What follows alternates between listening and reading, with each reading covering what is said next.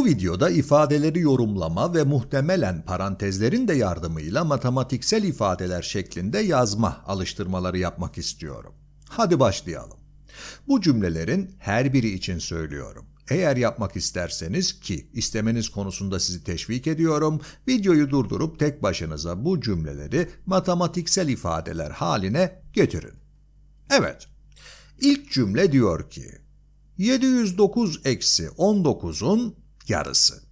Yarısı demek ikiye bölünmüş demek. Buna parantez içinde 709 eksi 19 yazarak başlayabiliriz. Önce bu işlemi yapacağız. O yüzden parantezleri bu iki sayının çevresine koydum. Bölü 2 veya yarısı. İşte size bu cümleyi matematik dilinde yazmanın bir yolu. Şimdi sıradakine geçelim. Tekrar ediyorum. Eğer kendiniz yapmak isterseniz lütfen beni durdurun ve cümleyi matematiksel ifade şeklinde yazmaya çalışın. 56 ile 7'nin toplamının 3 katı. Yani 3 çarpı 56 ve 7'nin toplamı olacak. Öncelikle 56 ve 7'nin toplamı gelecek. O yüzden 56 artı 7 yazıyorum. Daha sonra bunu tamamını 3 ile çarpacağız. Yani bu toplamın 3 katını alacağız. İşte bu şekilde yazabiliriz. Başka bir yol ise şöyle olabilir. Parantezlerle ifade yazarken ki bu parantezleri daha eğlenceli matematik konularına geldikçe çok sık göreceksiniz. Gerçi benim size şimdi göstereceğim şey pek eğlenceli değil ama neyse. Buradaki çarpı işaretini yazmanıza gerek yok. Yani sadece 3 yazıp yanına parantez açarak 56 artı 7 yazdığınızda bu ifadede 3 çarpı 56 artı 7'nin toplamı demek oluyor. Burada çok dikkatli olmanız lazım çünkü işlemi parantezler olmadan yapma gibi bir eğiliminiz olabilir. Yani şöyle bir şey.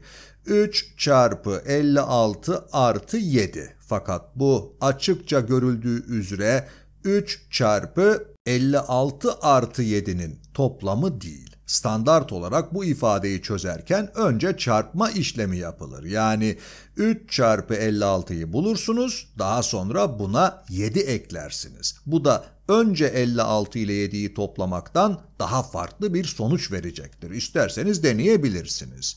56 artı 7 işlemini daha önce yapmak için bu işlemin çevresine parantez koymanız gerekiyor. Hadi devam edelim. 3 çarpı 56 ile 7'nin toplamı. Yani iki şeyin toplamını alacağız. Toplamını alacağımız ilk şey 3 çarpı 56 ve artı diğeri yani 7. Başka bir renkle yapayım artı 7.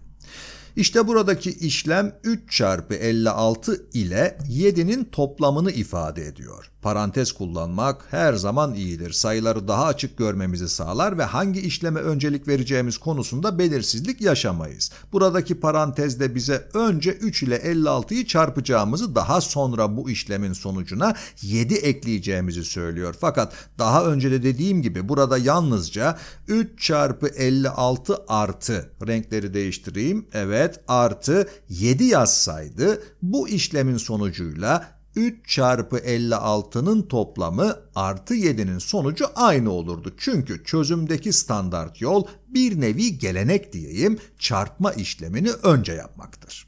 Buna işlem sırası denir. Belki duymuşsunuzdur. Duymadıysanız da mutlaka yakında duyacaksınız. Yani önce çarpma işlemi yapılır, daha sonra toplamaya geçilir ve 7 eklenir. Fakat soruda parantez kullanmamızın bize hiçbir zararı yok. 3 çarpı 56 artı 7. Evet, 43'ten 16 ve 11'in toplamını çıkar diyor. Öncelikle 43 eksi yazalım.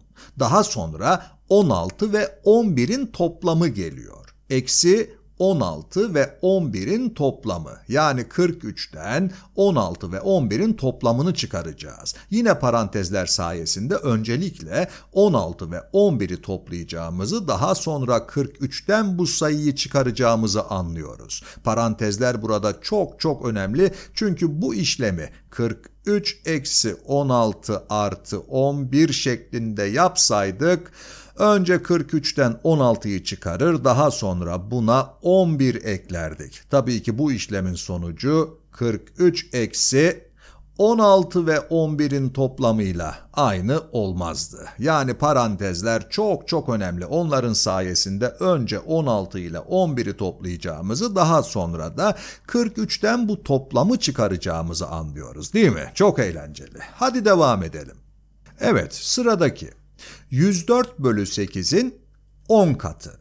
Yani bir şeyi 10 ile çarpacağız. 10 çarpı 104'ün 8'e oranı. 104'ün 8'e oranını şöyle yazabiliriz. 104 bölü 8. Daha önce de söylediğimiz gibi bu ifadeyi 10 çarpı 104'ün 8'e oranı veya 104 bölü 8 şeklinde de yazabiliriz. Tamam. Evet diğeri.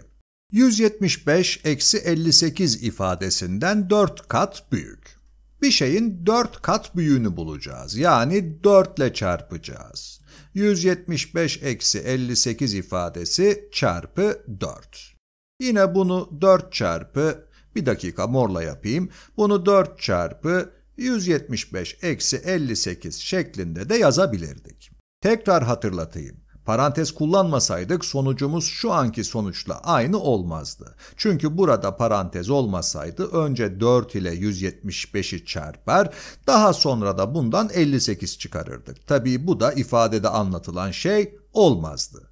Bence bu son ifade bizi ilginç bir şey düşünmeye itiyor. Çünkü birisi sokakta çıkıp yanınıza gelse ve neler oluyor bir saniye? Evet tamam. Evet birisi yanınıza gelse ve iki farklı ifade söylese. İlk ifade şu olsun. İki bir saniye. Bir saniye. Aslında ne olduğunu söylemeyeceğim. Yalnızca yazacağım. Buraya çılgın bir sayı yazayım. Evet. Bu ilk ifademiz. Diğer ifade de şu olsun. Bir saniye virgülleri yanlış yere koymuşum. Düzeltiyorum. Burası 183.576. Şurası da 37.399. İşte bu ilk ifademiz. Diğeri de şu. Bu arada bilerek okumuyorum ya da birazını okuyayım. 37.399 sokakta yanınıza gelen bu kişi size çabuk ol hangi ifade daha büyük dese bu soru karşısında belki de aman Allah'ım önce şu şeyi yazmam lazım ya da hesap makinesi kullanmalıyım gibi şeyler düşünebilirsiniz. Yani 183.576 ile 37.399'u toplamaya çalışabilirsiniz. Daha sonra bunu 2 ile çarpıp sonucu yazmaya uğraşabilirsiniz. Sonra yine 183.576 ile 37.399'u toplamaya çalışıp onu da 7 ile çarpıp sonucu yazmakla vakit harcayabilirsiniz harcayabilirsiniz. Bu çok zor. Aslında zor değil de bazı dikkatsiz hatalar yapmaya elverişli bir işlem. Fakat bu hangi ifade daha büyük sorusunu duyunca kafamızda yanması gereken ampul şu. Bu şeyleri hesaplamamıza gerek bile yok. Çünkü üstteki ifade 2 çarpı şu çılgın sayı yani 200 bin bilmem kaça eşit olacak olan sayı. Alttaki de 200 bin bilmem kaç eşit olan o çılgın sayının 7 katı.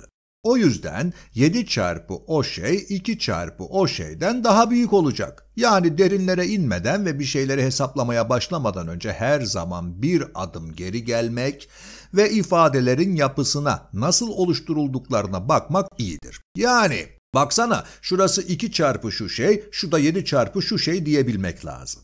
Yedili olan ifade yani alttaki ifade üsttekinden daha büyük olacak. Umarım bu videodan benim aldığım kadar zevk almışsınızdır.